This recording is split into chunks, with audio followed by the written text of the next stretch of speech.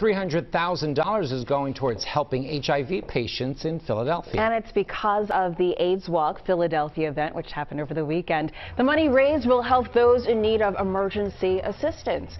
More than 27,000 people in the greater Philadelphia region are living with HIV, and organizers also say our area has a new infection rate that is three times greater than the national average.